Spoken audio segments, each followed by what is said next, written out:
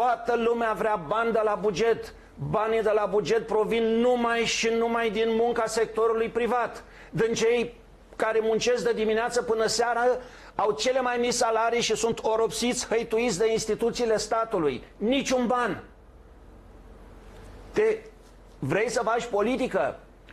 Mergi și găsești metodele legale prin care îți aduci membri, îți aduci venituri și faci politică în interesul României.